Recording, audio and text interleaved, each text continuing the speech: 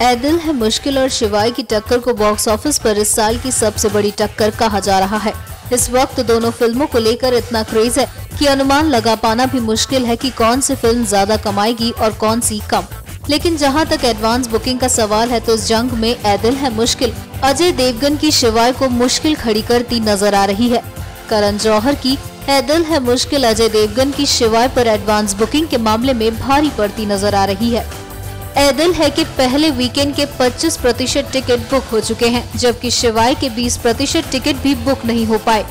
Advance ticket booking में भले ही ए दिल है, मुश्किल बॉक्स ऑफ़िस की जंग जीतती दिख रही हो, लेकिन ये कहना बिल्कुल आसान नहीं है, क्योंकि करण जौहर की फ़िल्म मल्टीप्लेक्स ऑडियंस को ज़्यादा अट्रैक्ट करती है, जबकि शिवाय का ज़्यादा ज़ोर सिंगल स्क्रीन ऑडियंस पर है।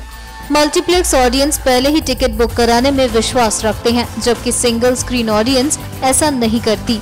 अब कौन सी फ़िल्म बॉक्स ऑफ़िस पर राज करेगी, ये तो रिलीज़ के बाद पता चल ही जाएगा। लेकिन फ़िलहाल तो ये माना जा सकता है कि शिवाय पर एदिल ने मुश्किल ज़रूर खड़ी कर दी है।